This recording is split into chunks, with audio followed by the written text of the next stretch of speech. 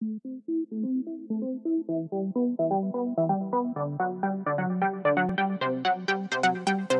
everybody, and welcome to the HTML All the Things podcast, episode 82, Web Design Stats 2020. I wanted to do like a, I get like the air horn out, 2020. Yeah. But uh, 2020 hasn't been great. So, anyway, uh, it's been great for us, but hasn't been great for the world, I guess. Anyway, uh, I'm your host, Matt Lawrence, and I'm joined again by my co host, Mike Karan.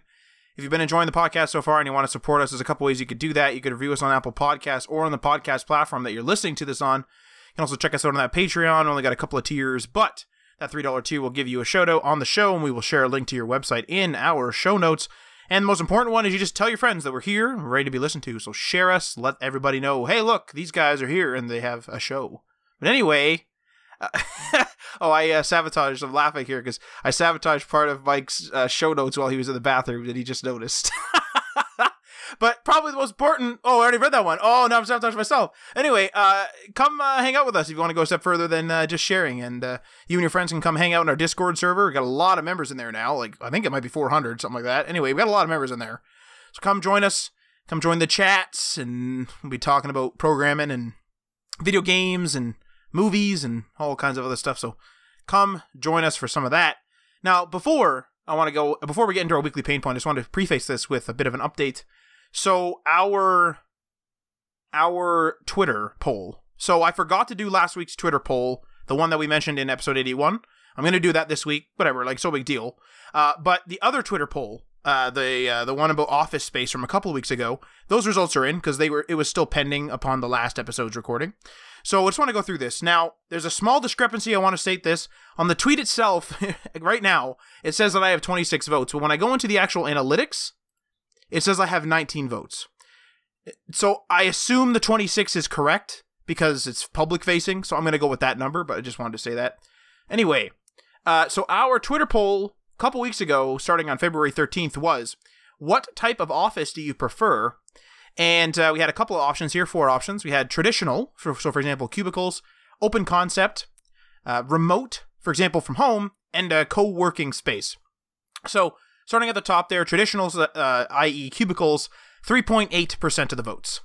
Uh, open concept, equal with that. So open concept, 3.8% of the votes. Remote, so for example, from home, 69.2% of the votes. And a co working space uh, coming in hotter than the first two, but not as good as the uh, remote at 23.1% of the votes. So remote's obviously the big boy there. Uh, but interestingly, and uh, if not to do a little self plug for our Discord again, we had a pretty good conversation actually in our Discord about how some people were saying that, um, you know, it's, it, there's benefits actually to being in an office. Like some some really good points were actually brought up about how if you don't know what you're doing, that team environment can help you. Um, I'm just paraphrasing from a conversation a couple weeks ago now or a week ago. And basically, how once you know what you're doing, then remote might seem really great. But some people need to get up and go to that office, and some people also just need that team environment constantly, whether it be for the social or the professional, like, hey, I need help with this, or hey, let's collaborate constantly. Um, because collaboration can be faster in an office. So that's just that's a little tidbit. So yeah, that's, that was a pretty successful poll. We're gonna be I don't know probably try to do these every now and then now. So I'm gonna have this other have the the other one from episode 81 up, and that one is I'm paraphrasing. I gotta word it. It is the I forgot what it was, Mike. What was it? It was the come on, Mike. Now he's The wor- searching. I can working, see him. The working too hard one. Oh, right. So it's like I'm paraphrasing it, but it's going to be, you know, should you have an equal work life balance when you're starting? Should you be working a bunch? Should you be working a bunch throughout your career? Should you be working like a healthy amount throughout? Should you have less hours later? Like whatever. I'm going to, you know, word this because I have limited options on Twitter, limited space. So I'm going to word that, post that up there. So uh, keep an eye on our Twitter. That's at HTML everything. But as we assumed, remote work from the last poll won. Anyway, uh, another a very brief announcement, but we won't unveil too much. Mike and I got our first round of stickers. So we got our first concept. We're not ready to unveil them yet, but we got our first concept taster done up stickers. Uh, They're we're so really good. yeah. They're so good.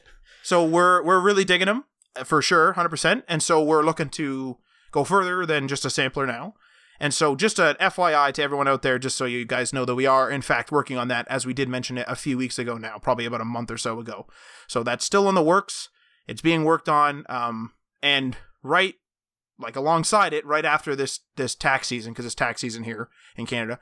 After this tax season, we're gonna hit the uh, hit the HTML all the things website hard. It's just I want to get my taxes done or I need to get my taxes done. Everyone does. So, uh, anyway, so that's just a bit of an update from us.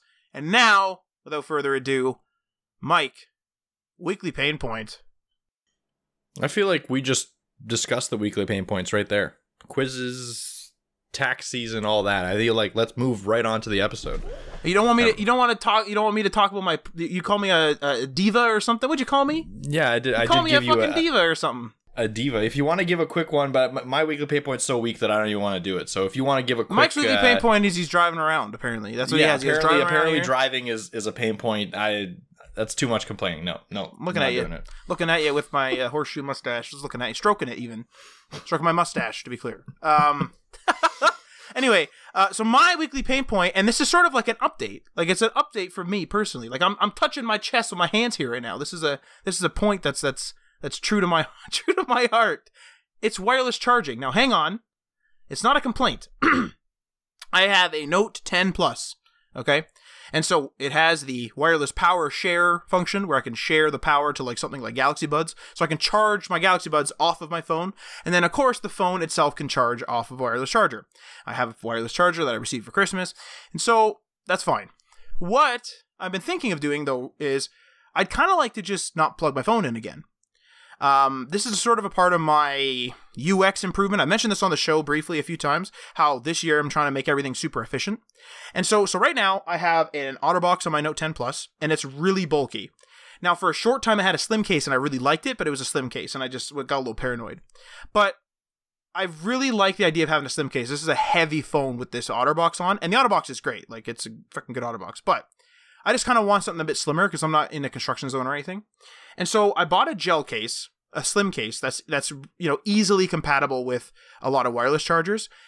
And now, hang on a minute. I know you're about to say this this OtterBox is wireless charger compatible. Correct. However, I actually have one of those metallic plates for a ma- magnetic car mount on the back, which makes it incompatible. Okay, so the OtterBox is compatible.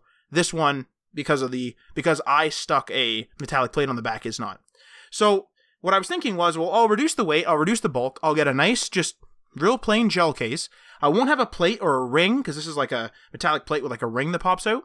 I won't have like a little support ring on there anymore. And what I'll do is I'll get a gravity car mount that attaches to the vent because I also switch cars every now and then. And what ends up happening is I can't take my current magnetic mount with me because it comes off the window. Now, of course, I could unsuction it, but like that suction cup will get old and useless as I keep removing and, and applying it. So I don't want to just do that. So I thought, okay, I'll get a vent one because then I just, you know, undo the clip and do whatever. And this is a wireless gravity charger. So what it is, it's a wireless charger and it's one of those gravity ones where you drop the phone in and the arms come in and cradle it. So this is now what's going to happen is I'm just going to plug the charger, like the actual dock, into the car and it's just going to wirelessly charge my phone. So now there's one caveat, there's one UX problem is my car does not turn off its cigarette lighter port thing. So because of that, I have to unplug the charger when I'm done driving because I just don't want to drain the battery at all.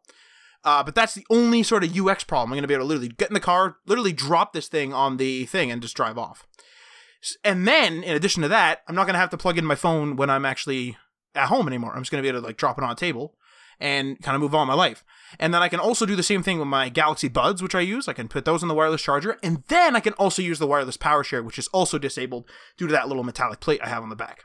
So that's where I'm at. This is one of those efficiency things where I'm trying to become more efficient with my stuff. I want a slimmer phone.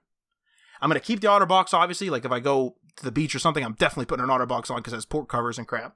So the OtterBox is definitely going to still be there in my life, but I like the idea of having this cradle because I can move it car to car easily. I can wirelessly charge. I'm not going to have to plug the phone in ever again.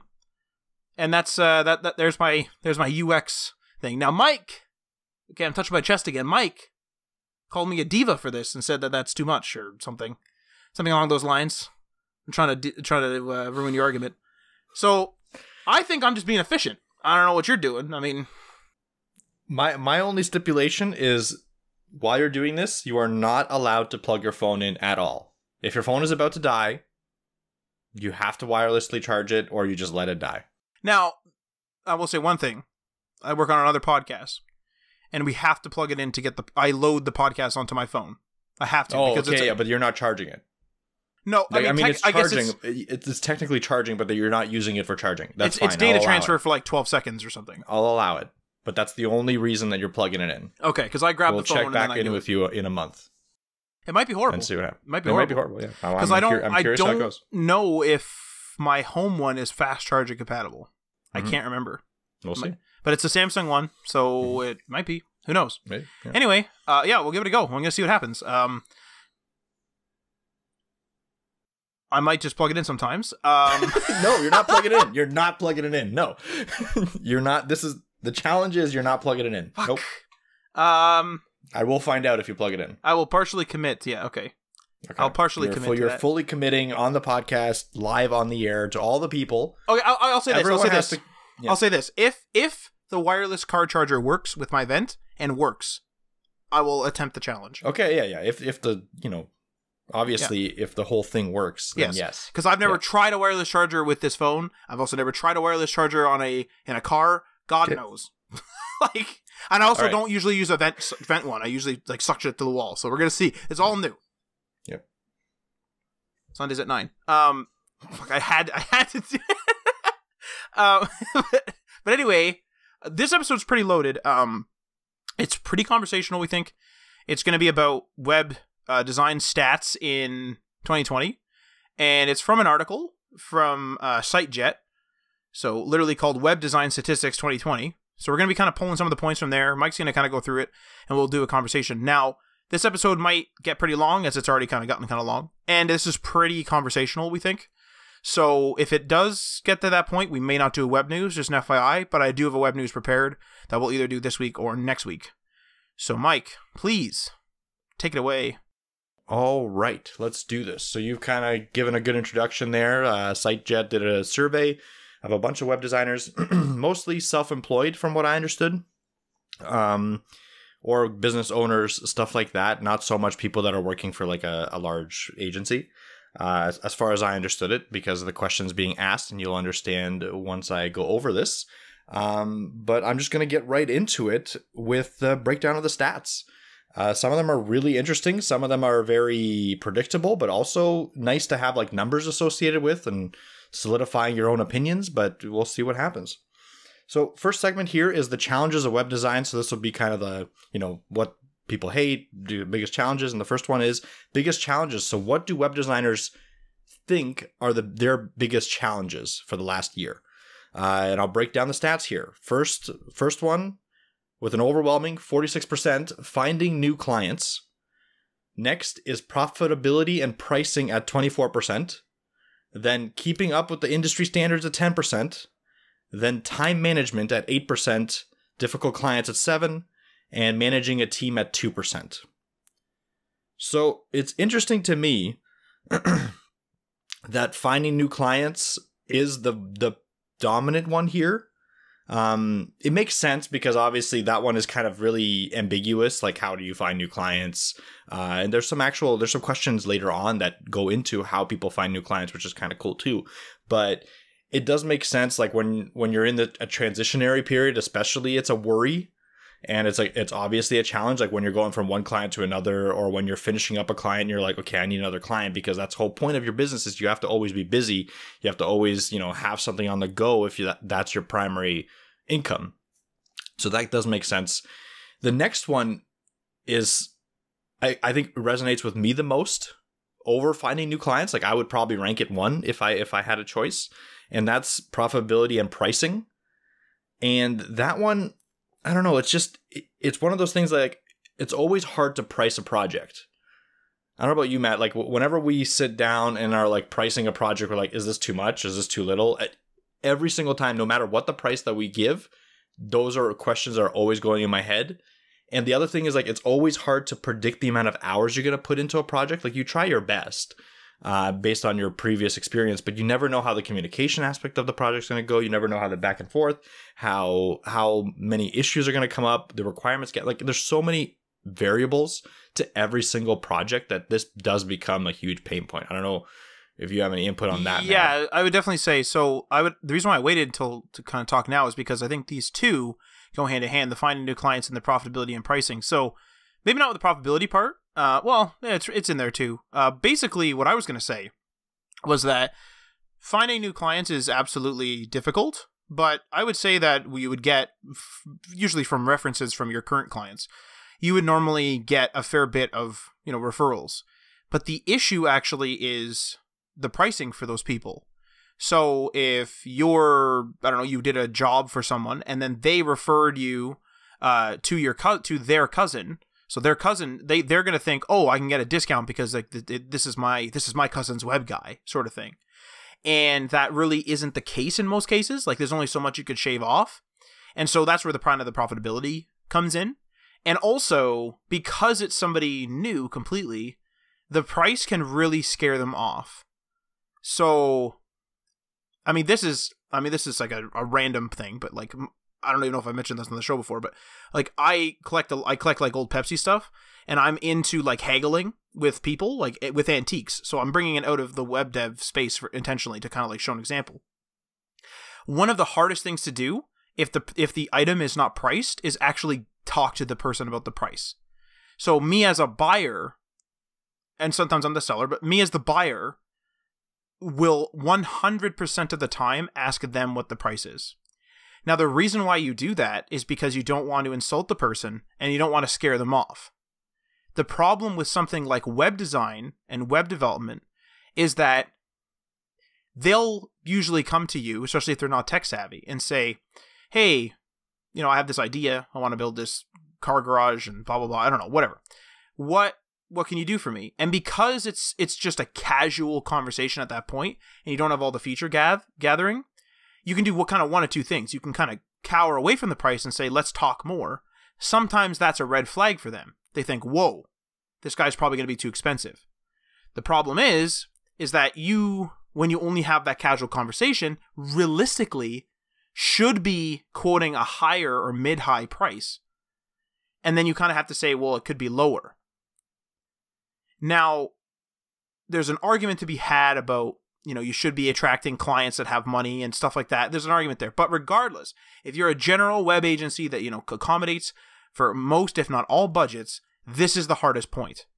Both of them. Because you're going to scare, like, this initial tactic, this initial interaction almost always involves price and almost always just scare them away. If you have that, if you have that conversation with them, that little casual one in the beginning, you haven't done, you know, your full feature set and all that, and then you and then you they ask, "Hey, what do you think ballpark?" and you say a grand and they were thinking 250. Sometimes they'll back away so much they won't even say, "Hey, I was thinking 250." Now, that's not always the case, but like this is one of the bigger problems. Sometimes I they'll say 250 and that'll scare us off. Sometimes they'll say they'll say 250 and it'll be like, "Oh, okay, actually, hang on a minute you know, did you mean this by this feature? Like, are you cutting this down? Are we cutting this down? Like, is this necessary? Why do you have this? You know, you can start, you know, trimming the project to make the 250 make sense, for example. But you don't have the advantage like you would in a physical goods like that antique market, like I said, because I would, I literally go up to somebody and say, what can you, like, what can you do for me on this? That's usually what I say. Or like, if there's no, if there's a price, I say, what can you do for me on this? If there is, a if if there is a price, excuse me, then I say, what can you do for me on this? If there is no price, I always say, what are you thinking on this? Because what can you do for me introduces the the the this is the fuck what is this the American Pickers. This introduces the uh it introduces like a like so let's say the the price takes 300 bucks. When I say what can you do for me, I'm already asking for a discount, but I'm telling them to tell me. So I'm not insulting them. Usually this doesn't work for everyone of course it's a negotiation it's a game but this type of thing is a serious problem in the in the web industry or in digital goods i'd say myself yeah absolutely and the other thing is like in negotiation tactics like you mentioned it is always better to actually be the one that asks for the price because you're not giving away your cards. So a lot of the time when you go into a negotiation, uh, you yourself in your head have like a minimum and maximum that you're willing to do. They, the person that you're trying to get the price from, they don't have that, or they do have their own minimum maximum. What happens a lot of the time is or at least for us, I, the, what I've noticed is that we'll hit it way over or way under, right? And if we can get like, and I've heard this work sometimes, it hasn't worked for us, but if we can, if you can go to a client and be like, "What's your budget?" And for them, they're like, "Okay, well, you know, maybe they'll try to lowball you a little bit, but a lowball to them could be your, you know, the top of your budget, the top of your what you're asking." and then you're both happy. That's like the, the ideal situation, and that's ha- that happens sometimes because it's just the pricing in the in these kind of situations is so out of, all over the place. Like we we've had a lot of discussions about how much stuff costs. Um, the ranges are way out of out of control, like absolutely out of control. Like 10,000, 40,000, you know, five thousand, same website. Like it's just it's it's, just it's literally that crazy. We Yeah, we we, literally we literally found a. CMS the other day, a CMS that did other stuff like marketing and the whole bit, like a, a marketing CMS suite, a digital marketing suite. If you wanted, this is not including like the subscription fees. There's a subscription fee, or I think it might be a perpetual license. This is not including the license. If you wanted an additional server because you needed more performance or whatever that additional server does for you, sixty thousand dollars upfront. Sixty grand. What is going on? I don't Sixty know. Like, I- grand? I, what did you Yeah. buy? Like, I don't, I don't know. Like, I mean, I- maybe for, you know, people that are selling a million items at a minute or something, it, it, that doesn't make sense. But it, it, it's literally like the, the range is ludicrously all over the place. So it's very hard to do pricing. And that's why we're spending so much time on it. And there's like just so many techniques. Um, you were mentioning the whole, like, if, you know, they, they, you can be so far off and that could be off- offensive or whatever. I think this year I've I've approached it in a different aspect where if they lowball, I don't take offense and I just want to move away from the project as quick as possible in that kind of sense. I'll help in any way I can because sometimes you just have these situations where it's a family member or something like that and you go in and you pitch them and you, you start talking about price and they're expecting very low like you said like 250 500 and your price is like you know in the three to five thousand dollar range. So the, that pricing discrepancy, no matter how much you do, no matter how much you cut, that won't go away. Like that, below family rate. That is below family rate. it's too much. Yeah, it's too much, right? Like, and arguably, in my opinion, family rate should be the same as your rate. Like, fa- when you're doing something for a friend or family, this is my advice to people out there that have friends and family with businesses. Don't ask for a family rate because these, you know, there that means not only are you paying less money, you're taking away time from the person that where they could be generating more money and stuff like that. So just because you're friends and family, you should be trying to help the friend or family as much as you possibly can. Have them decide how what the family rate is and stuff like that, and offer maybe to pay more sometimes if you're if you can, just to be just to be a good person. I I don't know. It just it doesn't make sense to me where like sometimes a family member will come up to you and be like, "I need your services, but I'm going to pay you like next to nothing." Like That's- yeah, a dollar an hour or something. A dollar and, an and, hour, and like sometimes that's, the case. If it's if they're gonna if they if they're thinking two hundred bucks and it, you have a couple people working on the project, it could be like a dollar an hour. Like it could Yeah. the project could take two hundred hours. Yeah, it could be a five thousand dollar project. So in those cases, the the best thing that I found to do is be like, okay, like no problem. We understand your budget. That's completely fine. Uh, we're just we're in different areas right now. Like we, we just can't take on a project of that size and that caliber, and that's perfectly okay. Like be completely upfront with them, and then be like, if you need help finding someone or vetting a web developer, like we can, you know, ask the right questions. We can give you some smart questions to ask, stuff like that, and then we can, you know, we can help you in those kinds of ways. But for now, it's just it's too far off from our price point, and we have no problem just you know pulling back and you know helping in different ways if that's okay. And then you move on. I find that that's I'm fully okay with that, and going into a negotiation with that in mind also gives you a little bit more power because you're not just trying to get as any money from any client. That's when we started this business with Matt, like every single negotiation was like we have to close this negotiation because we don't have any other clients. We need money like no matter what the cost, like we have like I don't care if we're working for a dollar an hour, we need this client. At this at this point in the game, we're not at that stage and that's great for us. So we can have that leverage of saying no. Again, the power of no helps sometimes. One one thing One thing that I thought was interesting too, and and I've heard this off and on. It's often a point of contention actually. Is I don't really know where I sit on the idea of doing free portfolio work. So there's something to be said about actual portfolio work, where if I'm passionate about, I don't know, I'm passionate about mic stands. That's weird, but something in front of me. And I just wanted to make, you know, a website listing all the different things. And then I make it super nice and I polish it and everything. And I add that to, you know, D- DDD, Digital Dynasty Designs. That's Mike and my company's portfolio. There, you know, that, that's totally acceptable. But a lot of people, what they'll do is they'll, they'll go to an actual client and say, you know, hey, like, you know, your budget doesn't fit or whatever. I'll just do it for free as a portfolio item. And what Mike and I have found is it actually doesn't help as much as you think. Um, you know, we cut people deals and stuff like that to have our name kind of, you know, maybe shout like shouted out or displayed somewhere, or we've like put an ad on their site and stuff like that for free, and and that that's that's fair. That's you know more or less marketing. But I find that people are, especially in the beginning, they're shortchanging themselves a little bit too much, doing things for absolute absolutely free, rather than just you know less like what Mike and I were doing. I don't really remember doing a site for free myself, and you know we've advanced quite well. I don't remember doing one for free. Did we? One site was done for free, and it was, but it was for charity. Oh, okay. To be fair, that's like a donation. Yeah, yeah. So we've done like a donation. A donation. Yeah, yeah. we've um, done a um, donation. We've done like a donation where we uh, where we pay for like the the site's hosting the domain, and we did the work for the site. So like I mean, it was it was for a legit like an actual charity. It, it yeah, so. it's, it's, for a yeah, it's a chair. It, it yeah. was a charitable no- donation to a charity that needed a site. Yes. So we so did that, it. That was the free. only time we did it though, and I agree with you that I don't think you should be doing free work. If uh, on the other hand, if you're a 13 year old kid and your parents have like a coffee shop or something, and they need a site, I think that that would you know if you're gonna make a site for your parents, whatever, like that's fine. Up to your discretion.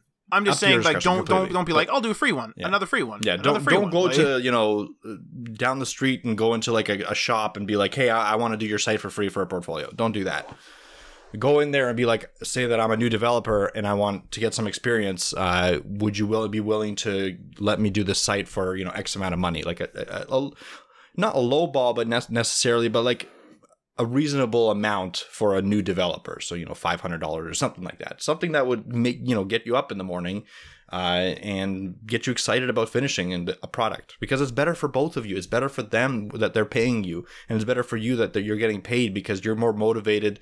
They're motivated to get a better product, etc., etc. And you know, time is money. It's just a better experience. But just realize that we're we this this episode might go overtime. this, this might yeah, we're already, already at 34 minutes and we're on the first yeah, yeah. the first major point, sub point two. so it's all right. I'm gonna move on to the next uh, the next statistics here, and w- that's what web designers hate. So there's a question to web designers: What do they hate? Number one thing web designers hate is growing and acquiring new customers. That's at 34 percent. Next thing is managing their business at 24%, interacting with customers at 15%, the creative process at 9%, managing a team at 9%, and then other is 9% as well. So Wait, where did you jump to here? Did you do keep, keeping point. up industry standards and stuff? What's going on here? So I, I went through that. I already went through that. We're not going to be able to go through every Wait, single no, point. No, no, come detail. on now. We're going to talk for no, half no, an hour each. yeah, no, no, half an hour on each sub point. Each sub point. We're going to have a seven and a half hour yeah. episode. It's fine. We're going to pull pull a night shift. Pick the more interesting parts of every of everyone and focus on them. That's for sure. So with what web designers hate, like it's, I, growing and acquiring new customers, I don't hate that that much. No, I don't. I don't. I don't, I don't hate that either. I don't know. I don't know about that. Yeah, I don't know why. I don't know why that's number one. Um, managing it, managing. Yeah. You know what it might be, like, honestly, though. It might be, and we're one of these, but we don't hate this. Is there's like there's a type of web dev slash web designer out there that will do something where they only use a certain thing, whether they just use WordPress and they don't custom code anything, uh, and they just use WordPress with a certain theme builder or something. Um, there's also the people that only use something like Webflow, but we're a general sort of like we do Webflow and custom and this and that and like all this other stuff. So I wonder if the hatred comes from the variety of technologies available to people and it's like an anxiety point where they're like holy crap like we've never used webflow before we already have six other cms's under our belt and this freaking guy wants to do wants to do webflow now we got to learn webflow too I just don't think that that's a very big pain point. Like I don't th- because usually when you're dealing with a customer, they're not going to be the ones suggesting you know, uh the the the technology that you're using. Like we we've had some customers that do that, I agree, but I think that that is actually not relevant relative to the industry. Usually the customer would be like, "This is my problem. I need a website for my, you know, for my business. Please create this website." And then you go and create that website and be like, "Here's the website. Here's I who cares about what technology you use? Log into this CMS and edit your content. Period. No conversation back and forth." I think that that's the typical process. So I don't think the technology is the issue. I think it's just people and as this points out, look, interacting with customers is up there is up in in the what web designers hate. I think people just like don't want to deal with cold calling. Uh, people don't want to deal with re- responding to email as much. People don't want to deal with stuff like that. Like it is tough to acquire new customers when you're first starting out. Especially, it's very very difficult. You have to be lucky, in my opinion. Especially if you want good customers, you have to be lucky and, and or thrifty or grind. Like you have to have some something that sets you apart yeah right? Once you get going, though, and we'll cover this a little bit later as well, uh, word of mouth just kind of spreads, and all you have to do is do a really good job. Just do a good job for your clients, and then your, you know, your clients will tell other people that you're doing a good job at a reasonable price, and it'll just spread and spread and spread and spread, and you'll have way too much work, or you'll have, you know, you'll have to make the decisions that we have to make where we don't can't do the $250 jobs or the $500 jobs anymore because it's just going to take away from our larger jobs or from uh, other projects and stuff like that. So that's why I think I don't hate growing and acquiring new customers because we we had a very simple we got lucky with our first customers. we put a lot of work in, we did a good job and it's grown from there. Um that's why I think managing the business would be my number one hate. I don't do much of it. Like you, Matt, you handle most of it, but like I've been doing a lot of the QuickBooks stuff this week because of the whole. Christ, uh, I th- that's and- I hate accounting. Holy yeah, hate- and that, but that's managing the business. Holy crap! And do I hate accounting? Any, really, anything that takes me away from my billable hours or my actual like programming work or my management work, stuff like that, like management of a team, um, I don't like that much because I feel like it's a waste. Yeah, yeah. I know it's not. I know it's not because you need to do it, but I feel like it's a waste, so it pisses me off. Uh, I don't mind interacting with customers. That's the next one here. Well, I, I 15. I was actually going to say just to sorry to interrupt there, but Mhm. I will say managing the business is my favorite part, uh, one of my most favorite parts. But I, it's because I like this, like making decisions based on, oh, this worked and this worked. Let's try this idea. Like, like I like having this idea. Let's try this idea. Let's bounce this idea off of Mike. Let's try this. Oh, I'll delegate this and I'll go to this person for this. Or oh, we can skip this part because we could do like it's. I like doing that type of thing. I like being sort of dynamic in the decision making. I hate accounting. Like I can't it cannot be understated. I I read something one time uh, like 2 days ago or yesterday. It was like and like I'm not an accountant, so don't quote me on this. It was something like the equity of the cost account of the cost of goods sold reimbursed or something and I I lost it. I I did I'd take a break. I was like, "What the fuck?" Did somebody write down here? Like what? And it's like, oh yeah, like you know, no bigs. Oh, all right. Next time I make a business decision, I better better consider whether it's a reimbursement of my cost of goods sold equity. Like, what? I don't think that's right. Like I'm from memory, from No, angry, that might be from angry memory. It could be right. Who knows? But like, holy That crap! right. Come on, guys. Like who? Who? Who? That's all I got to say. There's accountants out there that like their job though. Like the you're. I don't like it. I'm I'm with you on this one. I don't like it, but there's accountants out there that like their job, and that's why we have an accountant. I just wish we had a bookkeeper, which we might get. Which we might we, we might do. this. We might do this. Like we this might is, do. We might. We it's out of might. We might take the plunge and get a bookkeeper because I don't want to deal with this anymore. Like I'm literally literally so much. losing actual probably years of my life sweating, Yeah. literally sitting on my chair doing doing QuickBooks and sweating the entire time. Because it's like the thing that sucks about it too is it's like it's not like what we're doing is it isn't extravagant. We're not we're literally just entering our receipts and we keep our receipts all year. Like it's not a big deal. And you know, you miss a couple receipts and you make those miscellaneous expenses or whatever. Like it's not a big deal. There's nothing going on. Everything's fine. But the entire time I'm doing that, I'm sweating and panicking. Even though it's simple, I'm freaking out the whole time. The whole time. Like I'm like, oh my god, is this like, is this a, a, a, a subscription? Is this a is this a dues? Like what do I do? And then what's the date? And then the, the date of the invoice is different than the date it was sent. So it's like, do I do the sent date or the or the paid one? And then like I just start to panic and I start freaking out. And then yesterday I started talking to Mike and like I just gave up. Where I tried to split. If anyone uses QuickBooks, you can like split a transaction. I tried to split. I don't know why. Uh, pretty late at night. A, like a, a subscription fee for Balsamiq, but it was like a single month. And then I was like, wait, which week is this? And I'm like, wait, what the fuck am I like? Why am I doing this per week? And then I just started to panic and I shut it down for the night. I, I, it's, it's out of it's out of control. Like it is, it's out of it's out of control. And and it's so easy. Like I know people out there being like, just enter your receipts, you idiot. Thank you, thank you for that. It might be a phobia. Actually, I just real damn it, I keep bumping my mic. It, it might be a phobia.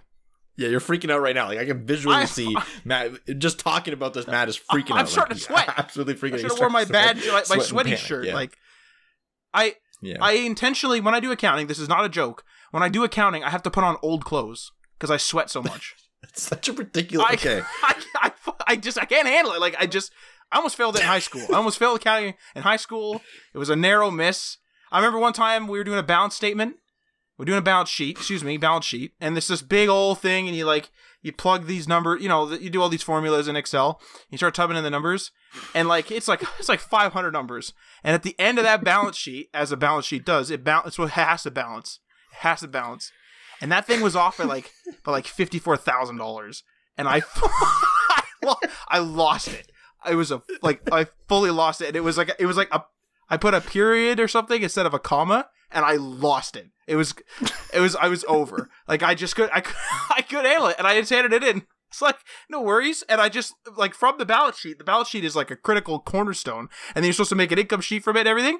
All that was wrong. I just I just built it, handed it in. I couldn't couldn't take it. Yep. I, I think if we do a Twitter poll this week, it's going to be uh, who who is okay with doing their taxes at the The, end of the, the, year. the Twitter poll three. Fuck yeah.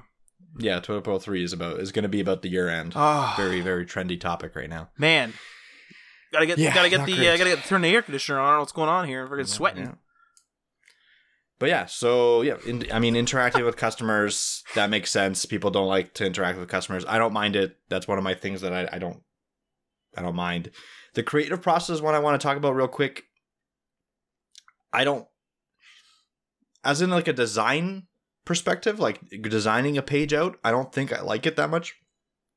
But the creative process of like solving an issue or a business logic problem, I do like.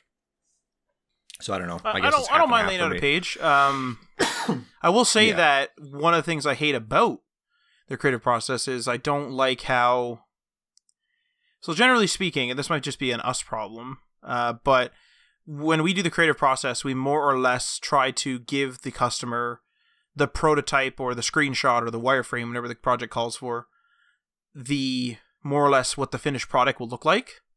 And I much prefer to lay out. So if I do it myself, let's say I was building my own project, I would lay out maybe a prototype or a or a uh, wireframe, and then I would iterate on that UI. So the UI would still look very similar, but I would do several iterations actually live until I like it. I do find that I will put together what I built in a wireframe or a prototype, and I just hate it the first couple of times.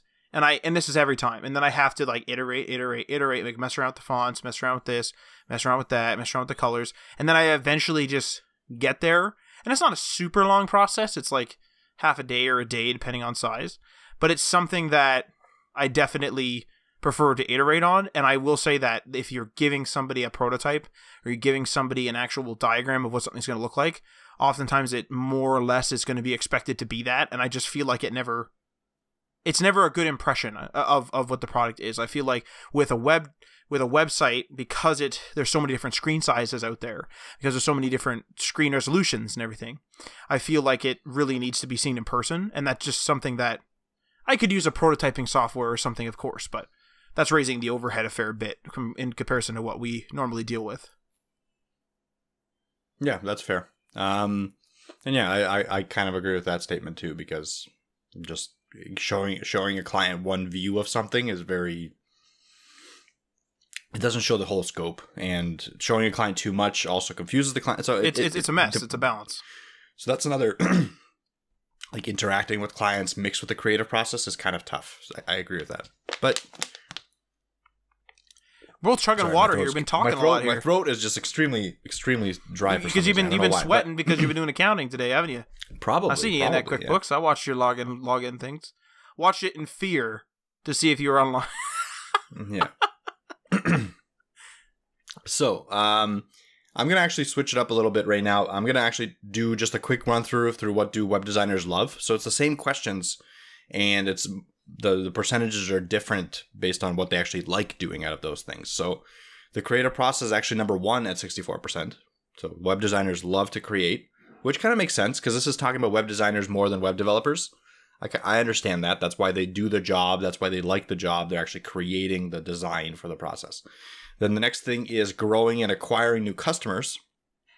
So some people really like that process, and I kind of agree with that. I do like the process of, you know, establishing relationships. And going on from that is interacting with customers at 9%. So, you know, going right into establishing relationships and all that. And then there's managing a business, 8%, managing a team. No one likes to manage teams. So I guess web designers are just not good managers. Well, I was uh I was almost saying this sounds and like I mean I guess we kind of do both because we're a small business, but I kind of almost think that this particular statistic managing the team feels like they're introdu- they're uh, interviewing the technical staff, like the actual developers, because I will find that developers, at least from my you know limited sample size, generally don't like to be the manager. Yeah, I guess I guess it's a very low percentage of them that do, and that's why this this kind of reflects that. Right, but this is like this is the designers. I always thought the designers would be more creative, more ready to do stuff. Although now that I say that out loud, if you're the designer and you you're trying to convey what you visualize in your head as a team lead to your team, and you're unable to do that, and they produce something that is not what you had in your head, that's probably annoying. Yeah, Hundred percent. So with that, so we kind of just I just wanted to go through that really quickly because we already discussed every single one of these points anyway, and move on to the next thing here, which is how long does it take to build a website from scratch?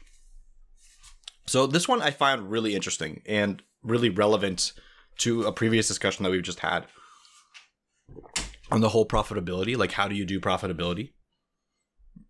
because there's no way to know how many hours it's going to take. So, and with that being said, uh, the breakdown is this 11 to 20 hours, 31%. 21 to 40 hours, 29%. 41 to 60 hours, 13%. 0 to 10 hours is 18. And then 61 plus hours is 9. What this kind of shows is a really close spectrum where people just don't know. Like the pie chart, if you look at it graphically, is essentially like a circle with even chunks, like very close to even chunks. Yeah. Because it's just all over the place. Now, obviously, project size matters and stuff like that, and that's not taken into this. But even with that, like, it's something like going back to a car example, when you're a mechanic and you're changing brakes on a car, you know how much time that's going to take, you know how much to charge for that. You know the resources, your Chuck tossed back the water. That, that's the second. my throat is just that, dead. That's literally the second like body of water you've drank tonight. I know. I just Save had my wife planet. bring in water because my I, I can't I can't talk right now. Really sorry. Okay. Anyway, uh, it's just it. I find it interesting that like the spectrum is so wide, and they they ask quite a few people. So the you know experienced developers, not experienced developers, no one knows how many hours a website's going to take, and every hour, every website is just like Is it going to take 61 hours? Is it going to take 11 to 20 hours? Like we don't know. And you're, you're charging for something again with, the, with that car example. Like you don't know if it's going to be a brake change, is it going to be an engine change, whatever. Because let's say you're making the same website. So uh, a pizza shop comes to you, make a pizza shop site. It took you 20, 40 hours. Another pizza shop comes. You're assuming it's going to take 40 hours. But what happens is in the communication process, the pizza shop stops replying to you. The pizza shop doesn't give you the right content, so you make something, and then they come back and be like, "Okay, well, that's not what we wanted because we didn't reply to you." That happens, and then they give you more content, and then you make it, and then they come back and be like, "No, we want this design." Like every customer is completely different. A customer can't come back to a car shop and be like, "That's not how I wanted you to install those brakes." Yeah, yeah, yeah. You know what I mean? Like that's there's a big discrepancy in web development, and that's why the price discrepancies are so wide because the hours are so different and developer to developer some developers are more efficient some developers are better at doing work but they take longer time. Some developers do a really bad work but they can do it in five hours. Like how do you price something well, in, in that scenario? that's actually interesting that you mentioned that because there's there's also like there's the there's the angle of again i know this this survey was pointed at designers but if you're talking about like a web development team so the development and the design together and you're making the final final product there's actually a different level of product you can de- deliver to a customer. Some people will deliver something that has like all sample text and absolutely no creative thought was put into the copywriting, or it's just all the lorem ipsum stuff, like like like placeholder text, and that will allow you know that's that's allows you to save time, but it gives a less a lesser, in my opinion, presentation of the site sometimes you got to use lorem ipsum, but like sometimes you could you know put a little creativity into like the titles to make it look well. Or people will use just any stock photo instead of like proper stock photos for whatever the site actually is, and so it makes the site look weird there too. And then there's other people that will hold the customer's hand all the way through, where there's already a doc, like they make the documentation on how to use the CMS. The CMS already has a bunch of placeholder text. The e-commerce is say turned on and everything, like everything's ready to rock and it's just a matter of hitting that publish button and then you go to the presentation with the client when you go to hand it off and everything's ready to go and you got a full set of guides and everything. Like there are different levels to that and the reason why I bring that up is there is a lot of work in doing that. There's a lot of work in putting guides together. There's a lot of work in like buttoning everything up really nice and make it all look all fancy. There's a lot of work put into those little steps meeting the client again whatever training them. Maybe something you want to do a training session, a consultation session with them uh, about how to edit things or how the SEO works on the site or whatever. That stuff does take up hours. And when one of the issues that anyone, I would say, has with estimating projects, especially in this field, is everyone thinks, well, I'll just download a Webflow template, edit it, and move on. But then you're like, oh, wait. Like when you get there, you're like, oh, wait, how does this animation work? Even then, like something like Webflow. I bring Webflow to the table because it's sort of like a rapid, in my opinion, a rapid fire development tool for a website. But even though it's rapid fire and you're using a template, there's still a lot to consider. Oh, like this shadow looks weird with this text. I got to move this around. Oh, this color scheme isn't quite there. I got to set these different colors. I got to get the colors. Oh, this like this slogan's wrong oh, the customer actually wants to be able to edit the SEO, so I can't just edit it and save it for him. Oh, we need to have this email system set up. Oh, they need this like forwarding system. Oh, they need rules in their email. We need to help them with that. All of this stuff is all together. A lot of my job is is that is as I go in and I manage a whole bunch. Like I do a lot of server admin stuff. I do a lot of user management. I change procedures for people and stuff like that. 100%. Like a lot of that is that um, a lot of it also is data management. Like uh, one of the things that people do not consider is when they make a page. Okay, they make a page and they get all the data already and everything else. And oftentimes, a web agency will say, "Okay, you get like one month of free updates. You know, you got any problems or anything, come and come to us and we'll get, do do that. Whatever, one month, two months, whatever you offer, or none, whatever. But like, let's just say a month standard. You do that. One of the things that I that I find is the customer will change. Well, the customer will, let's say, write eight, 18 blog posts and then be like, eh, you know, hmm, I don't think we need a header picture, but I want those pictures to be in this other, like in this other field. And because you're kind of obligated, you're like, damn, like, you know, the the the program, the CMS cropped it, and I gotta grab that, I gotta find that source material, and I have to go and add another field, and then I have to re-upload those photos for the client or whatever, or you can try to convince them to do it, but they don't understand. They think it's just a simple flip over. Like all of that stuff, all of those semantics take hours and sometimes take the most amount of hours. Think about making a page from scratch, HTML, CSS, JS. Think about how making a page from scratch, and let's just say first iteration, like you're going for a first draft. So you make it just look nice. You use the company colors and everything. Everything's fine. Think about the amount of time it took you to contact the customer to get all the cus- all the, the content, the pay- the pictures, the text, the whatever. Think about all the all the amount of time it took to for them to answer after, okay, and then for them to call you back to ask for changes. You do the changes, you send it back. They do iterations like this repeats and repeats and repeats a few times until they're happy, right?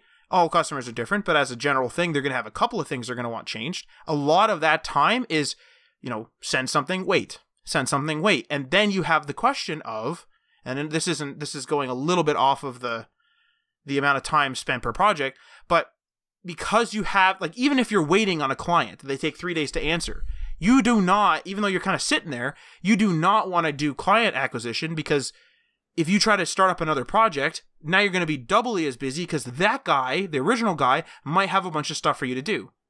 So now you might have 120 hours of stuff lined up all of a sudden for just like a two month period. It's going to be a whole like disaster. Like who knows right? So that's yeah, that's what exactly. I, that's what i mean. Yeah, and yeah, you just went down rabbit holes upon rabbit holes that every web designer probably has gone down at some point. Every web developer, every business owner, kind of like that's dealing with this business has had to deal with. Um, but with that being said, let's move on to the next segment here, which is other interesting takes. So this is just other, you know, questions that were asked, not necessarily negative. Can't talk today. I can talk for like one second and then my throat just dies. Come on, bud. Okay, I'm gonna put try. I'm gonna try to power through here. Mike Mike right. clears his throat's Koran. yeah. Oh, that sounds like a that sounds uh, like a, an Oblivion name from the Elder Scrolls. Yeah, maybe like a rapper name or something. I, I I did the nerdiest like I had the nerdiest example. It's like man, Elder Scrolls three. You sound like an Argonian name or something, and then you're just like, yeah, probably a rapper. Yeah. So, question was, how often are websites updated? And in th- this question was uh, is based on like when you finish a website and you're with a client and you have like a maintenance contract, how often do you go back and actually do something for that client? First thing here, monthly, 60%. That makes sense. Most most maintenance contracts are monthly, right? Then there's bi-monthly at 11%, quarterly at 21%, which is interesting uh, and then other is at eight percent. There's other like segments. People people do like once every three months or whatever. Um, so I think that makes sense. Like I don't think there's much to talk about really here because we, I mean, we usually most of the time monthly is pretty accurate.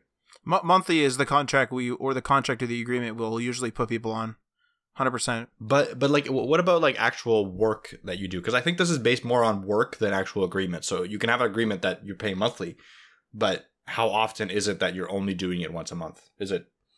I would say for a website that is updated frequently in terms of a CMS, so the user is updating it. I'd say monthly is. I'd say monthly is a fair contract because there's a fair chance each month. I'd say 50 50 each month. And with that being said, then I would say every other month you would be okay. Bi-monthly. Yeah, bi-monthly mm-hmm. is probably what you would be doing on the average. Okay. Because when the customer is when the customer, good, when the customer is actually involved a lot in the site, they'll notice things. Uh, they'll actually want things changed, and they may accidentally do something. I don't know, delete a page or something, and then they'll, you know, there'll be a problem, and you have to go and fix it. Yeah, absolutely. Okay, cool. Uh, next question here is How do web designers mainly communicate with their clients? I found this interesting. Uh, email, 74%. That makes sense. Phone or video calls, 16%. Yeah. Separate project management system. So I guess that's like Jira. I don't know if I've ever, I would ever want to ask a customer to communicate. Like, can you imagine getting getting someone to log into Jira and make a ticket and talk to you through the, like ninety percent of our clients wouldn't be able to handle that. logging in, no. I would say the reason why it's at one percent is because the, these Yeah. are probably corporate clients, and it may actually be their system. Maybe, it might be yeah, a real exactly. big like real big corp, and they're like, "Hey, you want to call? You want to talk to us? You got to download, you know, our app." You might be right. Yeah, you're, you might be right. So then, design platform is the next one. This one I found interesting. I mean, these are web designers. Uh, so like something like um, InVision or Re- Balsamiq. revision notes and stuff. Revision Notes. Uh, that's two percent, so higher than separate project management software. I could see that working because you send them a link and then they can just immediately respond to that link. Like they don't have to log in sometimes. Yeah, yeah. Uh, which which is nice. Uh, and then there's like Slack at one percent, SMS at one percent, other at four percent. I'm surprised SMS isn't higher because Yeah. I know in the states, S- like SMS or messaging in general, um, it's pretty popular. Excuse me, to do all, like, RCS. Excuse me. RCS. Sorry, yeah, or iMessage, much more much more superior one. Apparently, I don't use it, but Uh, I was, I would. everyone wants that blue bubble. Well, I would agree. Damn the damn the iMessage. Um, and I only have one person I can RCS with, so that's that that that that uh, platform's going real well. Yeah, that platform's going real well. Yeah. Although it was seamless, but um, I will say it's weird because I uh we do have a we do have a couple of clients that will, you know, email is a big one, but I would say the emails almost seem like a more. I think we mentioned this before. They mo- they almost seem like a more formal way to communicate. I would actually actually say that th- like a lot of our clients, when we when we move them to a messenger, they actually seem to like that, or not even move them to a messenger. Add like have a messenger as an option. So sometimes when let's say for example I, we're emailing emailing emailing and then we have a call or something and they're like oh I, I you know i'll let you know when you can edit this today like when when you can take the site offline to do a patch i'll just be like hey text me and that's me kind of inviting them to be like hey just text me and then what they'll end up doing is being like oh okay now it's kind of informal enough where i can send them little fyis instead of me drafting a whole email up So uh, to be fair, uh, this question is mainly communicate. There is a separate question I haven't added to our show notes, but there's a separate question with like in general what you use to communicate. And in that in that one, I, I believe SMS and all that is higher. okay okay so that makes sense okay So I think uh, it makes sense exactly. Yeah. So like mainly we do use email Yes. with most of our clients, right? Like SMS, like you said, on an occasional basis with like just casual, you know, updates and stuff like Yeah. that. We do use that, but it's not our main thing. So yeah, I think it makes sense. All these kind of just solidify. Like, yeah, everyone's doing the same thing. Great, awesome. yeah yeah 100% Let's move on. So, how do web designers get clients? This one's fairly simple, but it's also a little bit surprising. I didn't think it was this much. Word of mouth referrals is at 71%.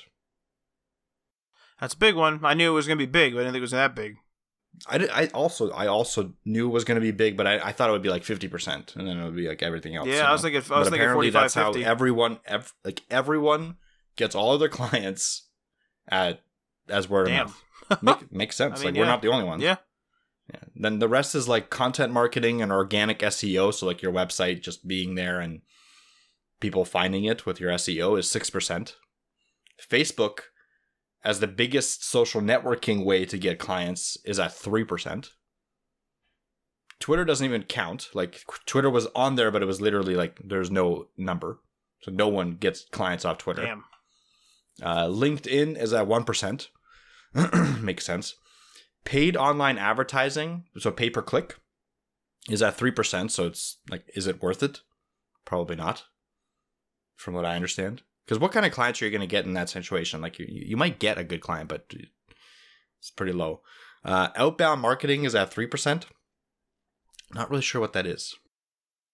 outbound marketing i don't know I could check, but regardless, email marketing is at 4%, so that's one of the higher ones. Uh, email is still a big thing, and email lists are still a big thing. And I actually, I, I think they're actually going up even more and more this year. I've been reading email email lists are becoming a kind of more intimate way to contact your audience. oh we started ours i mean we did, yeah, we did. Um, should we tell people how to sign up for it? Oh yeah. Um, keep talking, and I'll pull up the link for myself. Yeah, okay, I'll, I'll keep going. And then video marketing is at 2%. I don't see video marketing working very much. Uh, one, one that I find interesting here is partnerships, which is at 2%. So partnerships would include like, you know, partnering with another business and doing client work for them and you know giving clients back and forth. So like if like for for instance we are partnered with a business that's an IT business where if their clients need a website they'll contact us and uh, we'll create that website for them and then have like a fee to pass back and forth between each other. So that's a partnership. So that's at 2% as well which i guess makes sense. I thought it would be higher because uh, it's a good way to get clients events is at 2% which is like if you go to a workshop or you go to like a you know a conference or something hand out your business card get a client like that so that's face-to-face events um, and then others at 4% so I, I think it makes sense. Like this this one other than the fact that word of mouth referrals is so high like i knew it would be high because oh yeah yeah. I, I thought i thought there'd be more. Every other one of these is is single digit. I honestly didn't think that was going to be yeah. the case. I thought we were going to have like yeah. a 45 and then probably like a 20 on something and then it would go down but like how would you do like at mob websites because most people that type in for a small small web agency, there's no chance that you're going to rank. No, like Squarespace, like Wix, all yeah, those Wix, guys, all those guys, everything. Mm-hmm. And there's and there's web website builders baked into most hosts out there. There's all kinds of stuff like that, and yeah, realistically, realistically, this is a pretty. I don't know. It see this is this is this is weird to me actually. I, I want to bring something up here. Is this this fa- like the Facebook, the LinkedIn, the all those like the social media there seem and content marketing and organic SEO throw those in there too like those are so low and they have so much money poured into them like it's actually nuts I don't know maybe not in this industry but in general holy crap is there a lot of money poured into social media marketing and like look at at least in this industry and according to this survey look at what it's giving us now, maybe it's the industry. Like I don't know. Could it be the six percent? Like you you you do it, you get your because it's let's say so here it's six percent for content marketing and organic SEO. You you get you know you do it, do your six percent, you get one or two clients, and then they word of mouth the rest. Is that kind of what we expect? I don't know, but it's maybe. weird. There's no yeah. doubt about that. That's it's weird. I think this just proves the point that you have to kind of be lucky and connected to start. Like you don't have to, but it's it's really helpful. Like when you start your business, ideally you want to start with already kind of a platform client in place or like someone that's already needing your services that you can build off of. Right. And that's not going to happen for everyone and I understand that that's kind of like you know, you can't generalize it to that point. But uh I know a lot of you know stories that I hear is of like people, you know, my church needed a website, my uh, my family's restaurant needed a website, like you know, etc. Like something like that. That was their starting yes, point. Yes, hundred percent. It wasn't just like, oh, I want to be a web designer and I put myself out there and I found someone. That for 100% happens, but I think that that's less likely. Well, like less. Oh, go ahead. Sorry. no, go ahead. well, ahead. apparently you need need a body of water to drink. Uh, but um, one of the things one of the things that I was thinking of is so we we haven't been all that active on our Instagram lately, uh, but our Instagram, our hat Instagram, is not exactly you know meant to attract clients in this sort of way. But we were reposting a lot of content from web designers, um, a lot of which went silent, and that is sort of an attestament to if it was bringing them a lot of money, they wouldn't have all went silent, and like a lot of them went silent uh, a freakish amount. There's some real successful ones on there, and I'm sure a bunch of the big ones have gotten jobs, of course, or the ones that have gotten their stuff shared on larger pages have gotten certain jobs or certain contacts, absolutely. But it certainly doesn't seem to be as lucrative as it would appear. And this is slightly off topic, but it's a question, I guess. We're always sold this social media marketing stuff for the most part by influencers is the social media market only for influencers? So those guys are saying, this is the best place to market. Look at all my followers. Look at all my likes. Look at all my retweets. Look at all this. Look at all that. Look at all this. Yeah, but you are an influencer. You are a product of the social media. Or are the social medias the only place, like the only place where people like you thrive? And that, you know what I mean? And everybody else, it's just another billboard. Like I, I, I Like- wouldn't buy a billboard on a highway and expect ten billion dollars to come flying in. Mhm. But these in- like- influencers are selling it like it's the bee's knees here.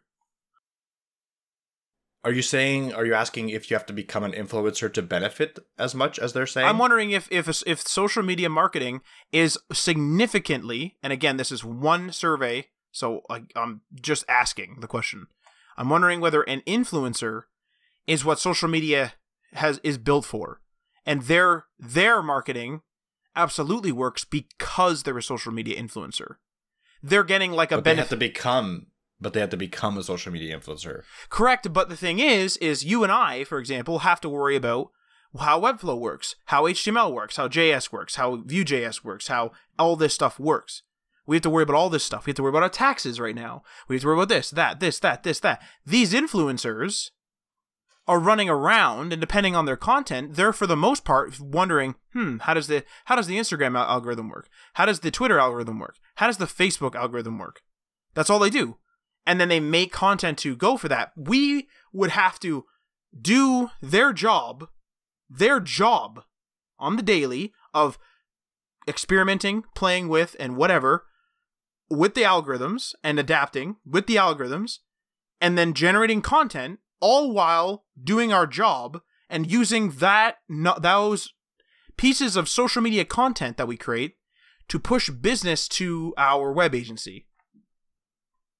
Like it maybe yeah, it would be tough. you know what I mean? Like it. Now this is why you'd probably hire somebody, but it's just something. Th- Yeah. Something I've kind of picked up on here. I think. Yeah, I think there. I think there is a trend of that. Like you have to put in a lot more work than we think. Like posting every day consistently isn't enough anymore. The- posting good content Is hard. Uh, You have to make it. consistently, yeah, consistently isn't enough anymore either. It's more not only you're posting good content and high quality content, but you're posting the right content at the right time, at the right place, with the right The background, right with hashtags, the, right and the amounts of hashtags, and yeah, yeah, at the and and get lucky. Like you have a one percent chance of it getting viral. Etc. Like there's a lot more variables than just being like be good at it, be consistent, and go like you know whatever. there's a reason why there's think- SEO agencies. yeah, and even they can't guarantee you anything. Not at all. Yeah.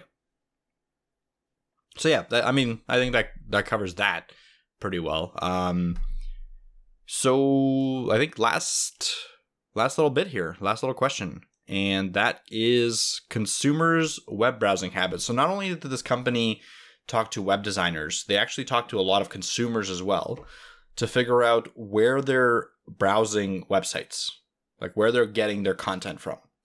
And to I think a lot of people surprised, and my hesitation to believe they asked enough people. Yeah, I a little bit, a little be- bit specula- speculatory on this. yeah, one. I'm spe- uh, yeah is desktop one at 71%, mobiles at 24 and tablets at 5. Now, just based on the statistics that I'm seeing across most of the websites that we manage, Matt, It's it's I would say 50 that 50 at least. at least and most of the time it's way more for mobile. And like and, I, and I'm Like tossing one- tablet into mobile too. Like I'm saying 50 50.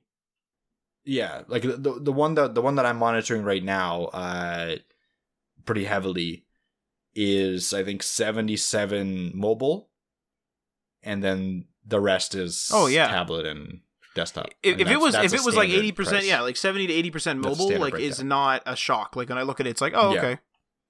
So I'm I'm more shocked by the fact that they're saying that 71% browse desktop. Now, now, benefit of the doubt. If you were asked how you browse your content, or how you prefer to browse your content, what would you say?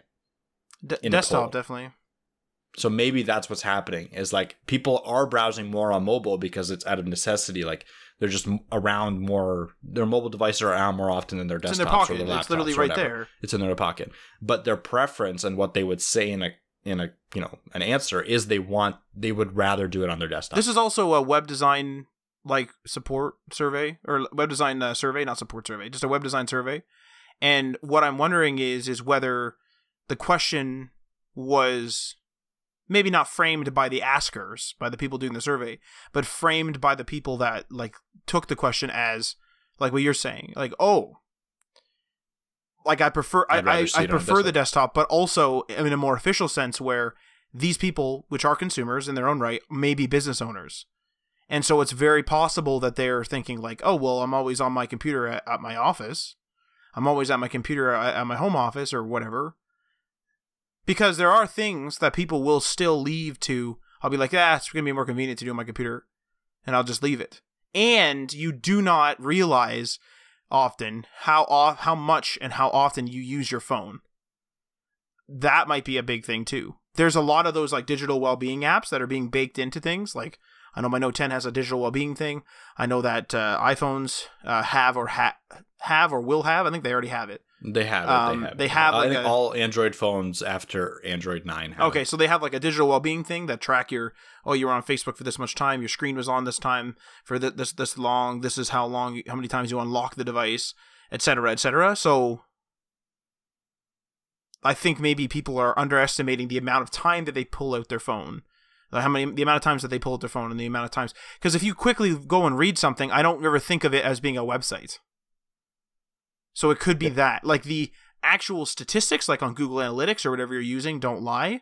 But the people aren't necessarily lying. They may just not be paying attention. They remember sitting at their desktop for a long period, but they don't necessarily remember they were at the bus stop and checked the weather on the weather network, like on the weather network site. I think the takeaway, the main takeaway from this is that responsive design just, you know, build fit for 50-50. Assume 50-50 and build for 50 Yeah, there's like there's like the the idea that you should be building mobile first in that, and I still don't subscribe to that. I think the desktop has the most amount of space, and personally, I think that's where you should start. But that also doesn't mean that I'm sacrificing the mobile experience. I think that you should be able to do everything, or most, if not everything, and hopefully everything that you can do on desktop on the mobile version. And I think that a lot of the designs that we used to do in the past when we were first getting started, we would hide a lot of stuff on mobile, like, oh, this picture looks bad, let's change it. Lately, it's been no, let's change the change the content such that it's still delivered to the to the mobile in the best way possible. Change the aspect ratio of the photo, make it put it into a light box that's easily accessible for people on mobile, etc., etc. Those type of things. I would say that those are the type of things that we do now to to ensure that the mobile experience is as good as it could be with that amount of screen real estate, and you can do everything you can do, or most of everything you can do on the desktop version and the mobile versions together. I would say that that's the number one thing for us. I don't necessarily agree with kicking somebody out because that office, like, there's a lot of offices out there, and there's sometimes like lax rules, like relaxed rules on what people browse on. And if you're listening to podcasts, you might just be like, "Oh, I'll just pull it up on my work computer." And you might browse your podcast on there, or you might even have a YouTube YouTube up or something while you're you know entering numbers in or whatever you're doing for your job. And that's a lot of desktop usage, and it's not to me, it's not fair to count those people out. And to and just to be blunt, having the extra screen real estate like 90% of the time is better, if not more than 90% of the time. It is just a better experience. And I think that this kind of this proves it. Yeah. that people that prefer it, like even the, even though they're using the phone a lot more, but they prefer the desktop, it, it's better to build with a, the mindset of like build good experiences for both. Because even though people might use the phone more often, when they go on their website on your on the desktop, they're maybe experiencing and, and enjoying it more, and that could be a more lasting impression for your website and a more re- like a higher reason for a person to come back than just a quick view on a cell phone. I don't know. It- my takeaway, you know, treat it 50-50. It's an interesting statistic because we don't see that in the analytics. Good, we talked about it. I think all these statistics have been kind of cool. Like it's nice to see actual numbers associated with our thoughts because a lot of it has kind of backed up our our thoughts. Like Oh, yeah. there hasn't been too many shocks. You know what I mean? Um, which is good. It means means that we're not crazy. Uh, We're not doing anything too out of the out of the realm of the field anyway. yeah, and I think it's important to kind of go through and give our own take on them as well. And we'd love to hear your take. Obviously, any any of these, you know, do any of these surprise you? Anything like that? Like get you know, add us at HTML everything on Twitter and HTML all the things on Instagram. Let us know what you think. Um, I think that's that's about it. Good episode, in my opinion. Good good discussion. Other than the fact that my throat kind of gave out there in the middle. Yeah, you drank like two liters of water there, bud. Holy crap! Yeah, I had to like yeah. All my water's gone. All my water bottle, everything. like- yeah, like a water bottle, a water, a water like bottle, like a permanent one, like a plastic one that you refill, and then you had a, wa- a glass of water. It's Yep. ridiculous. and it's and it's coming back now. So we gotta we gotta end it. We gotta end this before Yeah. more hacking of the. Okay, so I'll we'll postpone the web news for next week. Uh, the web news is going to be why. Just going to tell you the, the title. Why the different departments in an office hate each other. It's or like that's the question. That's the area. I'm not going to get into it. I kind of wanted to be a little bit of a little bit of mystique there. Um, also, if you want to join our newsletter, I know I mentioned that earlier. Um, I'm just going to put a link to it in our show notes on the HTML All the Things website uh, because it's a Mailchimp link that has a random string in it.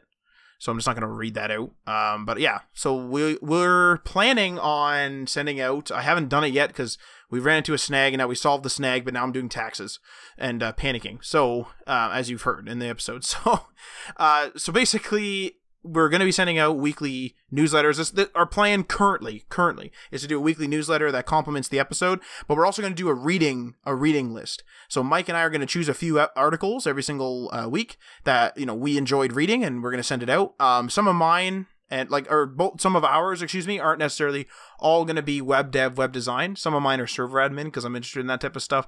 Uh, some of Mike's might be off topic as well, um, but all of his in the one art in the one collection that we have so far are all web uh, dev stuff. So yeah, so come come check that out. Also, if you want to uh, read the article from today's episode, the uh, one from Sitejet, I'll be including that, of course, in our show notes as well.